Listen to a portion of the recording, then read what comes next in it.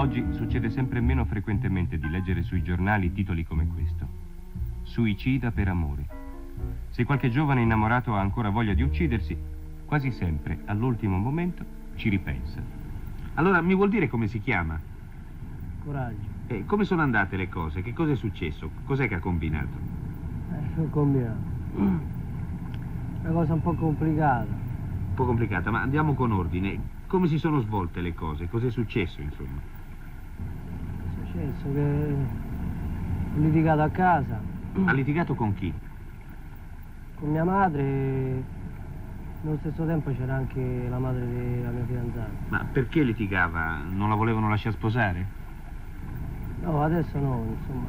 Se parlava, ma era una cosa impossibile perché io mi trovavo un po' maluccio e la madre a me non mi poteva vedere, insomma. Per quale motivo non la voleva vedere? Perché non lavoravo, non c'avevo un mestiere. non- Oh, invece la ragazza le voleva bene. Sì. Sì, ma va bene, ma era talmente messa su dalla madre che delle volte faceva delle cose che non doveva fare, insomma. Allora lei ha avuto una crisi di sconforto e ha pensato di farla finita. Sì. Ma dopo che c'è stata una lite, dopo c'è stato un commissariato del merito, insomma, parecchie cose così. Allora come si è regolato? È uscito di casa? Che ora era?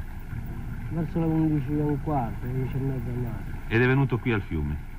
Sì. E si è spogliato e si è buttato dentro l'acqua? No, non mi sono spogliato, vestito. Ha vestito. Sì. E quando si è buttato nell'acqua, che... che è successo? C'è, una reazione, non lo so neanche io, insomma, istinto stesso. Poi l'acqua è un po' fredda. eh. Vabbè, è logico. Sono riuscito a arrivare a riva, ma non, non mi ricordo adesso precisamente come ho fatto, se mi hanno preso oppure sono uscito da solo. E dov'è che si è svegliato? Stavo all'ospedale, All'ospedale. a Santo Spirito. sì. Lo rifarebbe un'altra volta? Eh? No, adesso no. Eh, ci mancherebbe. Oggi è una bella giornata per fare il bagno. Eh, Oggi lo farebbe volentieri.